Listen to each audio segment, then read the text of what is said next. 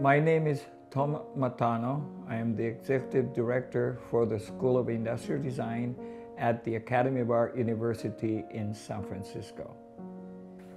This is one of those ideas that I always wanted to make it happen. So far I haven't. but uh, this is uh, like a sedan. The reason of this shape is the aerodynamics that everybody did the wedge shape but in, in theory, the teardrop is a better aerodynamic also. So the air comes in and flows around instead of air comes in and goes through this way.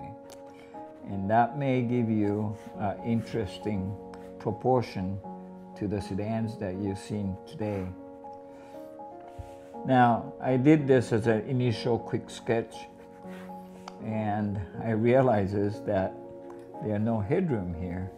So I have to adjust the roof line to accommodate the headroom. That ended up changing this area a little bit. I prefer a simple line. Um, I have a theory that if it's a long-lasting design, when you do a car wash, your hand moves through without stoppage. So I want to keep it usually pretty quick, simple.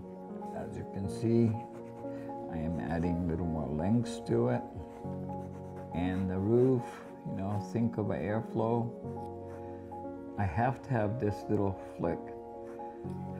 I started on the Miata, and now everybody else had that little built-in sort of shape in the back of the car. So I have to keep my signature there. See, if you have a strong brand, you could have a brand identity that's where the, everybody struggles with, without a history, everybody has to find their own faces. So this one, because of the uh, stand-up windshield, I might make it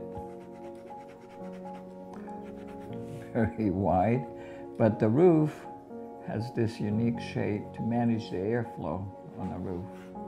This could be a um, one of those good old bench seat. Now that's become a cartoon.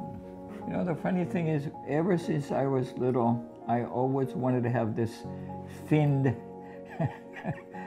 oil pan thing cool the engine off.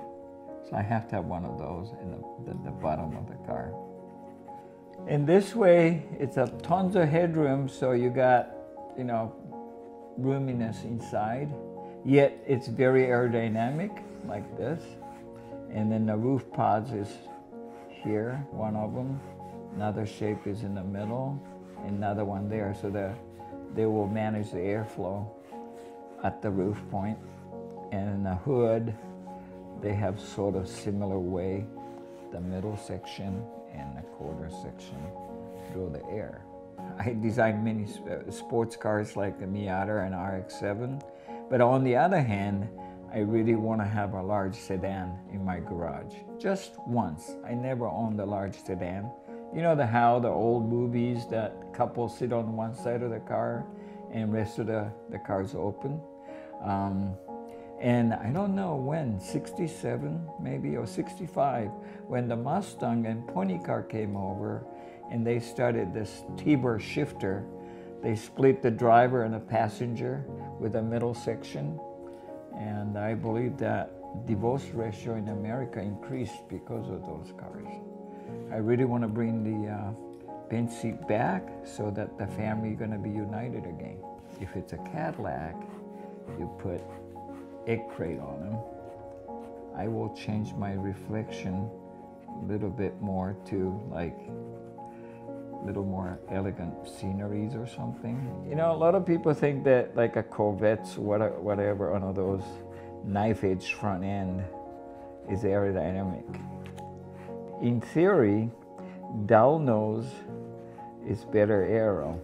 So I always said if you're the air trying to heat these cars, you don't want to cut yourself through the middle with a knife edged front end. You know, you want to be received by nice softer front end and then guide you through the whole body like these cars do. In fact, that's pretty much better aerodynamics than some appears to be aerodynamic, but not necessarily so in the real world.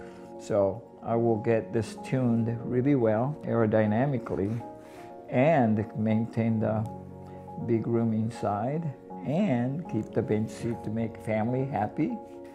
My name is Tom Matano. This is my five minutes car. What's yours now?